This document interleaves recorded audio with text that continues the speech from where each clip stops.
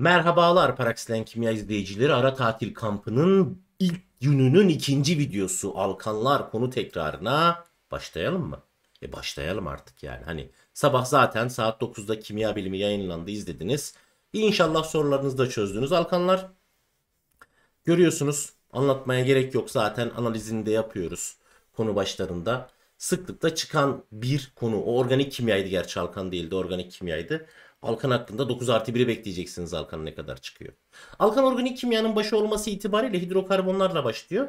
Organik bileşik temelde karbon ve hidrojen bulunduruyor ama hidrokarbon demek sadece CH bulunduran. Bak sadece CH bulundurması lazım. Hani yanında klor brom iot oluyor. Bunu da adlandırırken brom etan diyoruz ama o etan değil o alkan değil. Yani o adlandırmada etan. Niye etan? E çünkü alkanların adlandırılması tüm organik adlandırmanın temelini oluşturuyor. Alkanı temel olarak her şeyi adlandırıyorsun ya. Bu nedenle etan diyorsun. Yoksa yapısında CH olmayan bir şey pardon yapısında CH dışında element olan bir şey hidrokarbon olmaz. Hidrokarbon olmadığı için alkanda olmaz.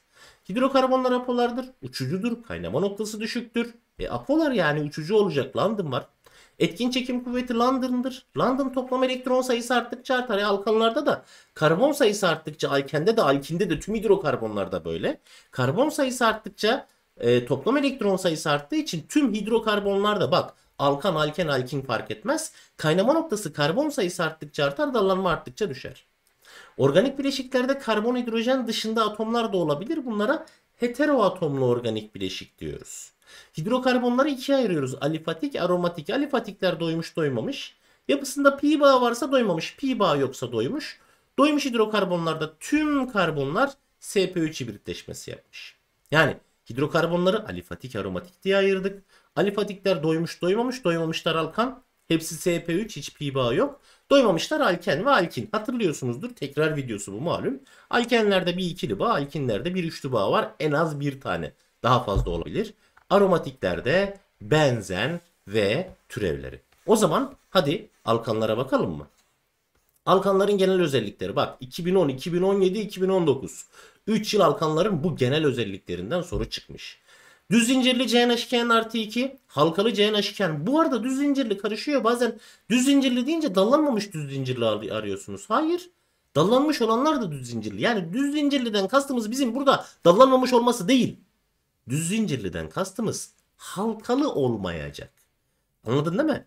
Düz zincirli ise kaç yandal olursa olsun CNH2N artı 2 alkan. Eğer halkalıysa yine kaç yandal olursa olsun yandalı halka içermediği sürece yani bir halka olduğu sürece kapalı formülü halkalı alkanların CNH2N. Bak tek halka olacak. Bunun yanına ikinci bir halka yandal olarak veya bitişik olarak koyarsan yok. No no baby öyle değil. O zaman sayıp bakacaksın. O genel kuralların dışına çıkar. Buradaysa dümdüz yanına istediğin kadar dal ekle. Hiç fark etmez. Yeter ki bu yan dal halka olmasın. Anlaştık mı? CNH2N artı 2. Tüm karbonları sp3, tüm bağları sigma, doymuş tepkimeye karşı isteksiz ki parafinin anlamı o. Herhangi bir bileşikte, herhangi bir bileşikte bu kural tüm organik kimyada geçerli. Sigma bağ sayısı eğer bileşik düz zincirliyse atom sayısının bir eksiği. Eğer bileşik tek halkalıysa atom sayısı kadar. E alkanlarda pi yok.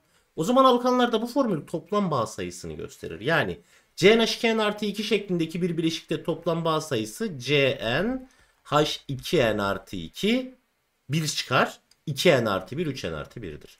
Halkalı bir alkanda ise CnH2n 3n tane toplam bağ vardır ki sigma bağ sayısı olarak bu formülü bütün organik kimyada kullanabilirsin.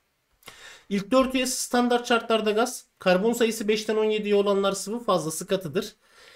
Bir bileşikte bir organik kimya bileşik sınıfında iki molekül arasındaki farkın hep CH2 kadar olmasına biz homolog sıra oluşturur diyoruz. Alkan, alken, alkin hepsi homolog sıra oluşturur. Günümüzde daha çok yakıt olarak kullanıyoruz. Arkadaşlar benzin, motorin, doğalgaz anladın mı? LPG hepsi alkan. Alayı alkan. Anlaştık.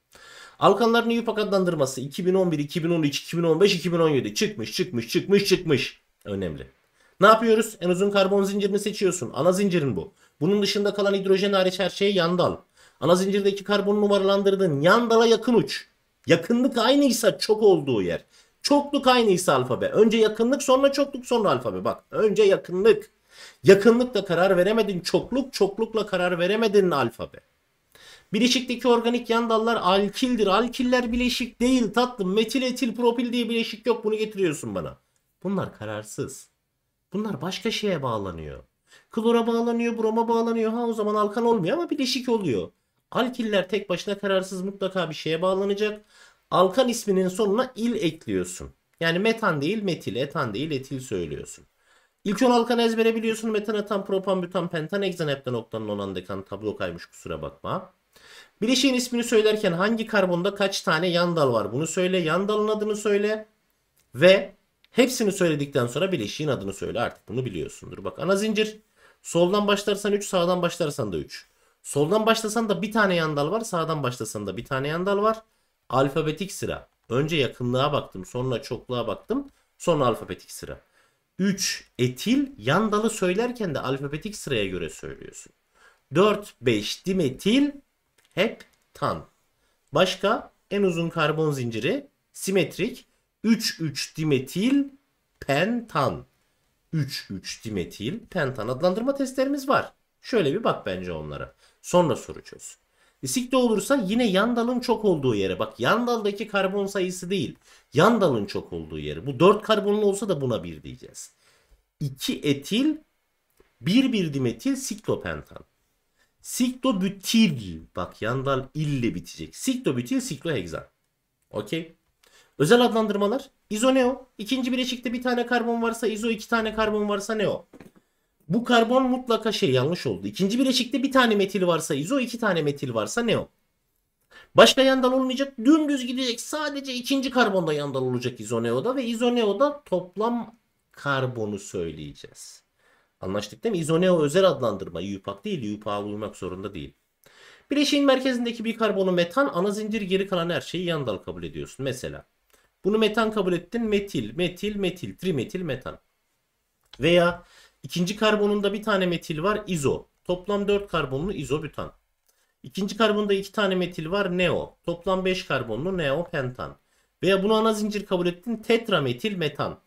Okey. Ana zincir kabul ettin. Etil, dimetil, metan.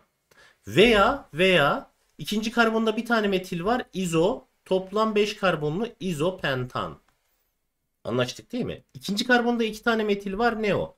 1, 2, 3, 4, 5, 6, 7. 1, 2, 3, 4, 5, 6, 7. Neo, heptan, izoneoda toplamı söylüyoruz. Veya bunu ana zincir kabul ettin. Metil, metil, metil, propil, trimetil, metan. Anlaştık değil mi? Bunlar da özel isim. Bunları yupak değil.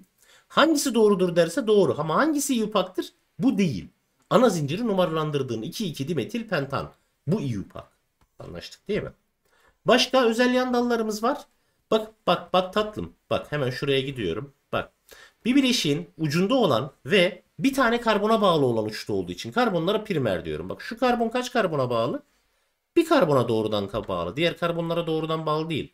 Şu karbon 1, 2, 3 karbona doğrudan bağlı. Bu tersiyer. Bu da primer 1'e bağlı. Bu iki karbona birden bağlı sekonder. Bu bir karbona bağlı primer. Anladın değil mi? Uçlar primer, İçteki yan dal içermeyenler sekonder hem içte hem yan dal içeriyor. Bu da tersiyer. İki tane yan dal içeriyorsa kuarterde kuarter bizde yok. Şimdi bu bir sekonder karbon. Bu anlamda bu sekonder propil ama sekonder propile biz sekonder propil çok demiyoruz. Ne yazık ki sekonder propile izopropil diyoruz. Hocam karıştırırsam karıştırmazsın tatlım propilin iki şekli var. Propili ana zincire ya uç karbondan bağlarsın yani dümdüz bağlarsın şu üstün ana zincir olduğunu varsa e, propil olur işte. Dümdüz bağlamamış ortadan bağlamışsan izopropil. Propilin farklı bir şekli yok. Sıkıntı bütilde. Bütilin dört farklı şekli var. Bir normal bütil dümdüz bağlarsan yani şunun ana zincir olduğunu varsay. Dümdüz bağladın bu bütil zaten. Bak sekonder karbondan bağladın adı sekonder bütil. Geldin tersiyer karbondan bağladın adı tersiyer bütil. Korkma. Başka türlü sekonder ve tersiyeri yok bütilin. Sekonderden sekonder, tersiyerden tersiyer bütil. Peki bu primer karbon hocam buna ne diyeceğiz? Buna da izobütil diyeceğiz. İzobütil. Bak şunu 1, 2, 3'te ikinci karbona bir metil bağlı. İzobütan bu bileşiğin adı. Yandan olduğu için adı da izobütil yani ne olacak? Allah Allah. Kolay. Cepte ezberle kalıp. İzomer neydi? Kapalı formülü aynı 2015'te çıktı. Karbon hidrojen oksijen atom sayısı aynı. İUPAC adı farklı yapılara izomer diyoruz. İzomer. Kapalı formülü aynı. Açık yapısı farklı. Bileşiklere izomer. İzomerler inorganik kimyada aynı bileşik gibi kabul ediliyor. Çünkü 3 ikisi de C3H8. C3H8'in izomeri yok gerçi. C4H10, C4H10. Anlaştık değil mi? Ama açık yapısı farklı. IUPAC adlandırmasına göre farklı. Bu izomer yapı izomerliği iki şey dört türü var. Zincir dallanma ana zinciri farklı bak. Bütanla izobütan. Ana zinciri 4, ana zinciri 3 karbonlu. Biri düz zincirli, biri halkalıysa zincir halka izomeri. Yan dalın konumu farklıysa 2 metilpentan, 3 metilpentan veya biraz sonra göreceğiz bir sonraki tekrarlarda. Fonksiyonel grubun konumu farklıysa o zaman konum izomeri. Fonksiyonel grubun kendisi doğrudan farklıysa biri alkol, biri eter. Fonksiyonel grup izomeri oluyor. İlk 3 halkanın izomeri yoktur. Bütanın 2 pentanın 3 heksanın 5 heptanın 9 oktanın 18 donanın 35 dekanın 75 tane izomeri vardır. Yani yapı izomeri bulmanın bir formülü yoktur. Tek tek deneyeceksin. Alkanların kullanım alanları ile ilgili hiç soru gelmedi. Ayrıntılı geleceğini tahmin etmiyorum.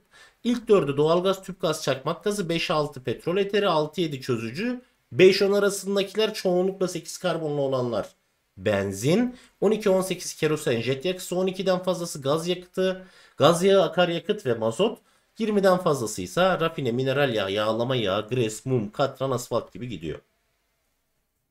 Arkadaşlar alkanların kimyasal tepkimeleri 2010'da ve 2014'te çıktı. 2010'da 2014'te alkanların kimyasal tepkimeleri ile ilgili soru sordular. Alkanların iki önemli tepkimesi var. Biri yanma, biri yer değiştirme. Yanma normal yanma oksijenle yaktın karbondioksit su oluştu. En tane karbon girmişti en tane karbondioksit.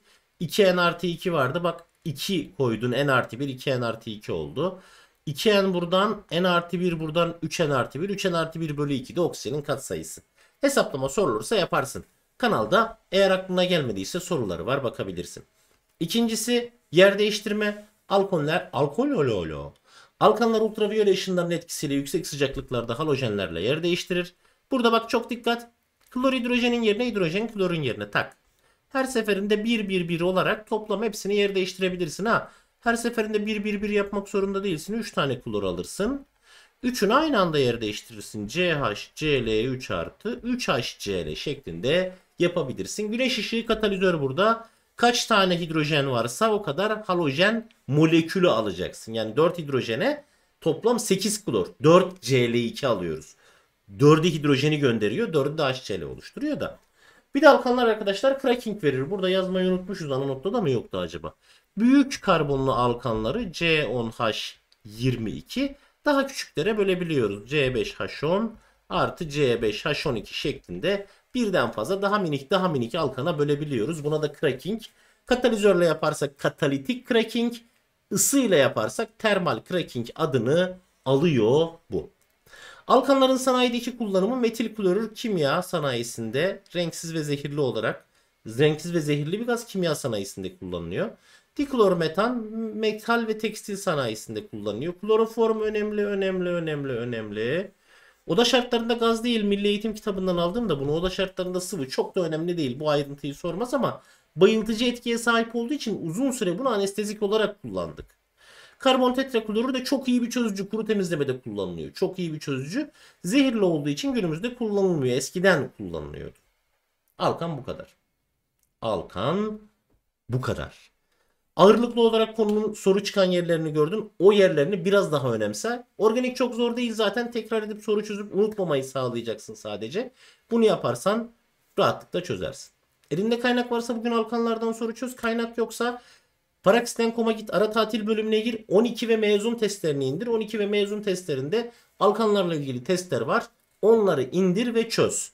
Kaynak varsa da eğer bunları çözmediysen indir onları çöz. Anlaştık değil mi? O zaman bugünün ödevi ne? 5 tane demiştim zaten. Şeyi çöz. Kimya bilimi çöz. En az 3-4 tane de alkan testi çöz. AYT'den de neredeysen ona devam et. O zaman biz 15 tatili bitirdiğimizde tüm organiğin tekrarını bitireceğiz. TYT'nin tekrarını bitireceğiz. E, AYT'yi de yapıyoruz. Tüm bunun üzerine kimyayı tam yapmazsan iki böyle, böyle yakında. Unutma. Unutma. Görüşmek üzere. Kendine iyi bak.